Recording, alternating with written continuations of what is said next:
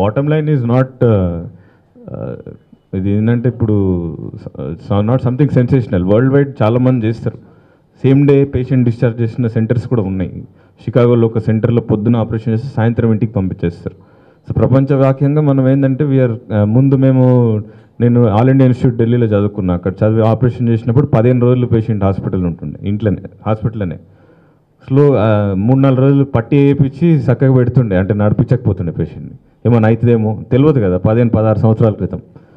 అది స్లోగా ఇప్పుడు ఐదు రోజులకి అయింది ఐదు రోజుల నుంచి నాలుగు రోజులకు వచ్చింది నాలుగు రోజుల నుంచి ఇప్పుడు టూ డేస్కి వచ్చింది.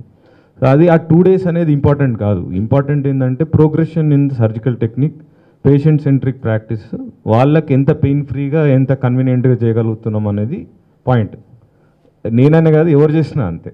So it's not about me or this thing. Patient రిలేటెడ్గా మనం ఏం బెనిఫిట్ చేయగలుగుతాం? ఈ ఫెసిలిటీ ఇక్కడ ఉన్నదనే అవగాహన కనుక కలిగితే కొంతవరకు కొంతమందిని బెనిఫిట్ అవుతాం. ఇక్కడే చేయాలని లేదు. ప్రతి సెంటర్లో కూడా ఇప్పుడు పెయిన్ మేనేజ్మెంట్ టెక్నిక్స్ అన్ని ఇవాల్వ్ చేస్తున్నారు. అందరూ అట్లనే స్లో స్మాల్ ఇన్సిషన్ చేస్తున్నారు ఆపరేషన్స్. ఎల్డర్లీ పేషెంట్స్ చేస్తున్నాం ఎయిటీ ప్లస్ వాళ్ళకి చేస్తున్నాం. సో వాళ్ళు కూడా రికవర్ అవుతున్నారు. సో అట్లా దానికి ఏం ప్రాబ్లం లేదు. మన దగ్గర ఏంటంటే కాంప్రిహెన్సివ్ ఆర్థోపెడిక్ టీమ్ ఉన్నది.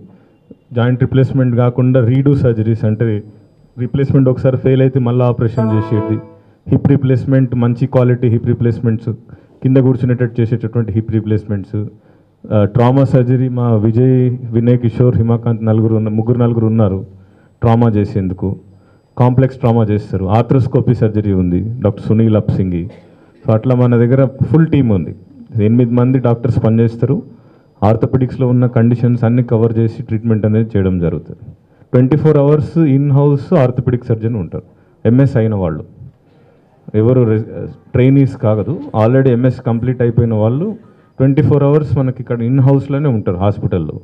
సో దాంతో ఏమైందంటే మీరు ఏమైనా ఆపరేషన్ చేసిన పేషెంట్లు కానివ్వండి కొత్త ఫ్రాక్చర్ అయ్యి వచ్చిన పేషెంట్లు కానివ్వండి within fifteen minutes twenty minutes మీకు ట్రైన్డ్ అనే స్పెషలిస్ట్ చూడడం జరుగుతుంది. ట్రీట్మెంట్ కూడా పేషెంట్ సెంట్రిక్గా ఉంటుంది. It is not at all new. రెండవది ఏంటంటే ఇప్పుడు నీ రిప్లేస్మెంట్ హిప్ రిప్లేస్మెంట్ ఫీల్డ్లో ఏదైతే న్యూ వస్తుందో అది మంచిది కాదు. డెఫినెట్లీ మంచిది కాదు. ఎందుకంటే ఇందులో చేసేది ప్రూవెన్ ట్రాక్ రికార్డ్ ఉండాలి. పదిహేను సంవత్సరాల నుంచి దాన్ని ఎస్టాబ్లిష్డ్ ఉంటేనే అది మనం అవలంబిస్తాం పేషెంట్ల కొరకు. కొత్తగా వచ్చింది ఉండొచ్చు. మంచిగా ఉంటుందని చెప్తారు. బట్ మంచిగా ఉన్నదా లేదా అని ప్రూవ్ కావడానికి సమయం పడుతుంది.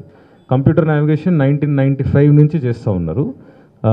వరల్డ్ వైడ్గా ఇండియాలో ఏంటంటే మనం టూ థౌజండ్ సెవెన్ నుంచి చేస్తున్నాం. మేము we're the one of the first people to start computer navigation in the country అయితే ఏంటంటే మాకు కూడా ఇది కరెక్టా కాదా? దీని అవుట్ అవుట్ అవుట్కమ్స్ ఎట్లా ఉంటాయని తెలియనికి ఫైవ్ సిక్స్ హండ్రెడ్ కేసెస్ పడుతుంది కదా.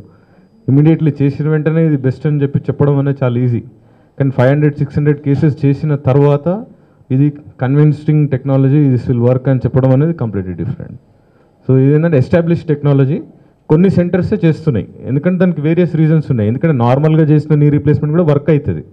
నీ నీ కంప్యూటర్తోనే చేయాలని రూల్ రూల్ ఏం లేదు. టైం ఎక్కువ పడుతుంది. లెర్నింగ్ ఎక్కువ ఉంటుంది. ఎక్విప్మెంట్ ఎక్కువ అవసరం. తర్వాత డిస్పోజబుల్ ఐటమ్స్ ఎక్కువ ఉంటాయి. సో కాస్ట్ ఎఫెక్టివా కాదా అనేది ప్రూవ్ కాలేదు. బట్ ఏంటంటే మా హ్యాండ్స్లో it is cost effective because our time is less accuracy is more we're able to do small incision surgery patient తొందరగా నడుస్తున్నారు. So my practice has change six seven years back నేను చేసిన సర్జరీను ఇప్పుడు six years నుంచి చేస్తున్న surgery completed different